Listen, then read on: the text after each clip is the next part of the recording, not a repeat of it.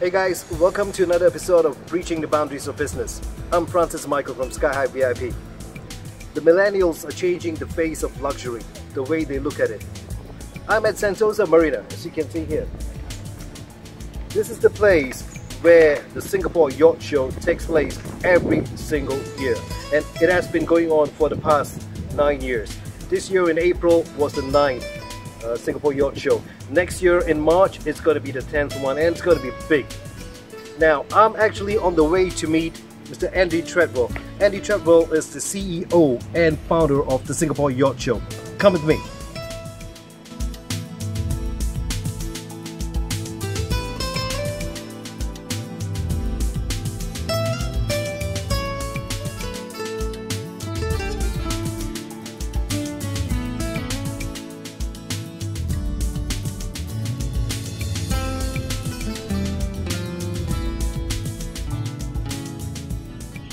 I have with me today Andy Treadwell, CEO and the founder of Singapore Yacht Show. Andy, thanks for joining us today. It's a huge pleasure. Thank you for inviting me. Thank you. Um, just, just a few uh, questions for you uh, for this interview because this is actually going to be viewed by all our members uh, around the globe. Now, research has shown that millennials at this point in time they're spending more on experiences rather than material goods. Is that true? Yeah, I mean, I read the same thing that um, I think somebody's called it, coined it as the Uber generation, uh, where they rent rather than rather than buy. And actually, that's what we're trying to do in this particular region. We're, we're trying to get people to try out yachting uh, because it's a, there's a lot of yachts in the world that are available to charter, and it's a great way to get people into the business. Um, I don't personally think that people will carry on renting them, chartering them, uh, once they get the boat, um, and that's the whole point of our mission here. You know, once you once you have uh, a private yacht, it becomes your prized asset, and you want it to be personal. So I think I think people will end up buying that, but it's definitely I'm all for people. The more the merrier. Trying it out first. I do understand what you're saying. Uh, another thing I've actually read would be uh, millennials at this point in time, they are a little bit more careful with their money, especially when uh, spending on high ticket items. Is that true? Yeah, I mean, again, uh, I, I, I, concur. Um, I think that uh, what you have to remember is that um, when you're talking about a yacht, it's a major purchase, and it's not something that's an investment in financial terms. It's always going to go down in value, uh, but it's a massively brilliant investment in personal fun, times with the family, leisure, peace, and so on, and, and discovering new places, of course. Um, but also, I, I think that the, the, majority of wealth is generational wealth. Um, and in terms of uh, how that gets spread out amongst the family members, you know, moving from one generation to the next, clearly it's going to be diluted, so there's less money available. And I think that um, also we see a trend that uh, the, the, millennials are, are, buying smaller boats. Uh, you know, you can still buy a very big boat, but 50, 60, 70 meters, this is kind of a more targeted uh, end product for that generation as opposed to the 100 meter plus uh, yachts, which perhaps the, the forebears of build. Uh, Andy, I understand you have been in the yachting business for quite some time now, uh, ever since the inception of uh, the Singapore Yacht Show in 2011. Well, before that. Way before that. What do you think is the support that's actually needed to take yachting to the next level? Well, here in Asia, um, you've got to remember I came here, I was um, CEO of the company that owned the Monaco show and various other events. Uh, yes, I read about that. Yeah, um, and, and, and so my responsibility was more about developing the business in other parts of the world. And in those days, 2008 to 2011, you remember that the yachting industry was a, a big setback in terms of uh, buyers disappearing. And so everyone was looking to the east to see, well, why is there all this wealth down there and yet people aren't buying boats? Um, so um, we came down here to see what's happening in the marketplace um, and why this opportunity wasn't being realised. And came up with some pretty succinct answers to that. And, developed it from there. So, having established that there was a huge potential here, um, we then we could immediately that the problem was that governments were not interested, uh, potential buyers were not informed, they didn't know anything about it. Um, and I link the two together. I think very much it's a question that if you don't have government support and interest in developing an industry sector, and here we're talking about tourism, yacht tourism is the highest spending tourism sector in the world, then you're not going to get the exposure to this particular product for the people who've got the means to enjoy it and, and, and, and develop it. So that's the first thing. Uh, you've got to have government understanding what's the benefit uh, to the country. And the, the key thing is this, that governments tend to look at it, when I say governments, I'm being very general, but clearly we're here because ASEAN, Southeast Asia, is one of the most glorious and spectacularly huge, beautiful and undiscovered uh, yachting destinations in the world. Um, but I mean also you know, Northern Asia, where maybe it's not so much a destination, but that's where the people are with all the money. So you, the, the, perception was that we were asking to uh, for help in developing something which was for rich people. You know, we were asking for help in uh, finding advantages for those people. Not true. What we're trying to do is we're trying to persuade those people to come here to Asia and spend their money on local communities, and that's exactly what it is. Yacht tourism is direct spend into the economy. And if we encourage that, we do two things. Number one, help develop those local economies, uh, vastly improve the PR of the country because, you know, suddenly this is all very glamorous rather than cheap tourism. This is beautiful people, very expensive. With money to spend. Yes, with money to spend. Yeah. And, and huge, we're talking billions of dollars here that could be cash coming into this region. Um, but at the same time, we're offering a product, and if these boats are able to charter, which they have to do, because the owners won't come here unless it costs a huge amount of money to run the boat. It's, you know, uh, 10, 15% value of the boat, so it could easily be five, six, ten million dollars uh, a year to run the boat. Half a million dollars minimum to get here, all the way from the Mediterranean, which is where all the boats are. So unless they can charter them when they're not using but once you get here, if you can establish the ability to charter, government giving permission, then you are encouraging other people in the region to come and try it out. You can't get them to go all the way to the Mediterranean to try something that's completely new in a place that's foreign. So that's uh, where we need the biggest support. Um, and, and, obviously, we, we could also get a lot more support from corporates who want to meet these guys you know, they're, they're, the other people that can benefit. The corporates down here who, who could benefit from uh, 250 billionaires sailing into the region. Uh, there's, there's a lot of potential there, business development, inward investment, and so on. Um, Andy, what is the future of uh, yachting in Southeast Asia?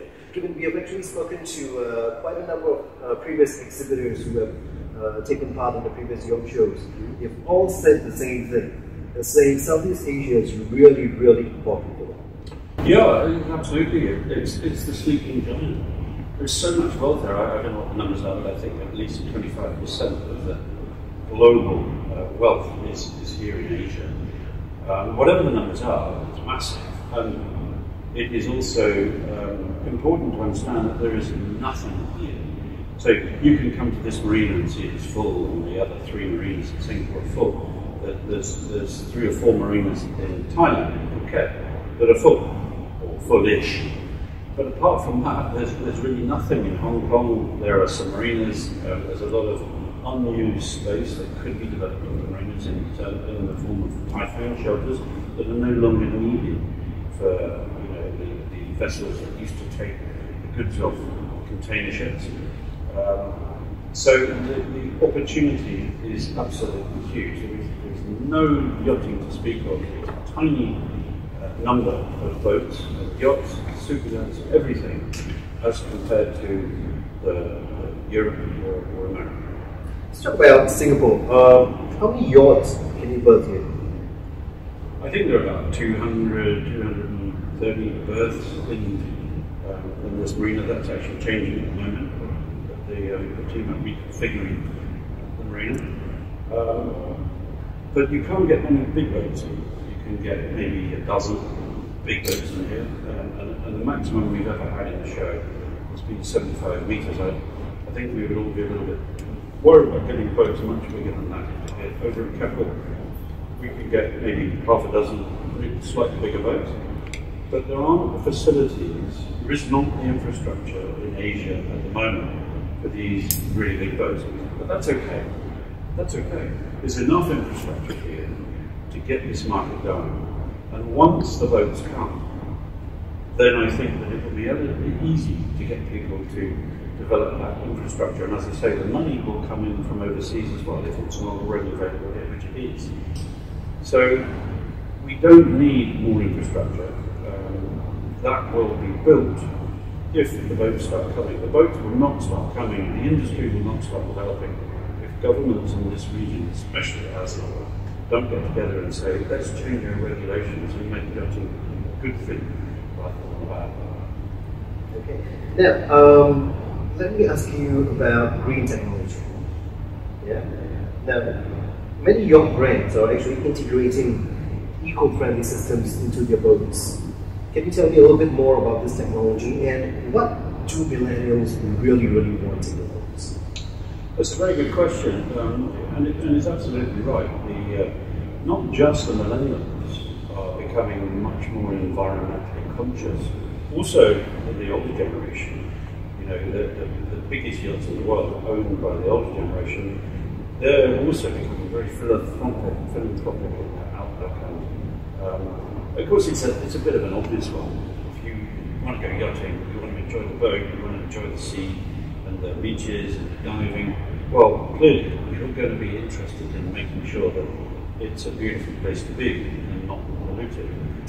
Um, what the industry is also evolving You know, you've got to remember that because the, the, the current wave of enthusiasm the cleaning everything up, the dangers of the dramatic dangers of climate change, so it's a relatively recent thing, isn't it? It's the last 20 years or so. And so the yacht manufacturers are responding to that uh, using lighter building materials, uh, more fuel efficiency, less waste, hybrid propulsion.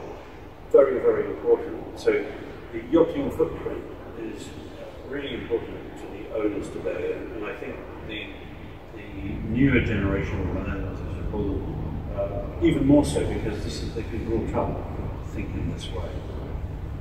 Amazing, isn't it? You know, Monaco is considered the uh, world super yacht hub for key players. And Singapore, a lot of people say, is the Monaco of Asia. Do you agree? I think, um, yeah, you, it's, a, it's a good parallel to draw. Um, the difference is, of course, that Singapore in itself is not a yachting destination in waters, but at the same time, it is clearly the best place to have a business hub. And for the yachting industry, it's no different. Um, so, so yes, I think it's a fair parallel. We tend to think of Singapore and Thailand as an Indonesia as, as one place. So that's why we're, we're promoting a new show in Thailand. We've got the government involved, very involved in Thailand.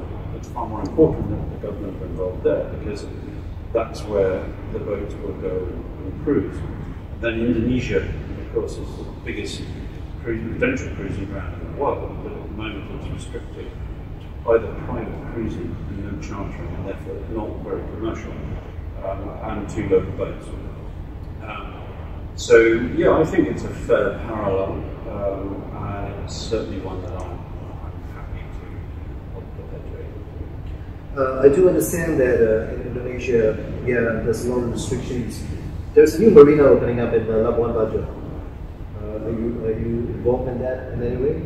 Well, um, yeah, necessarily, because um, as I said, we're the only uh, yacht show in the region, in the whole of Asia, so we, we do know what's going on. I've been down there and uh, I think it's going to be spectacular.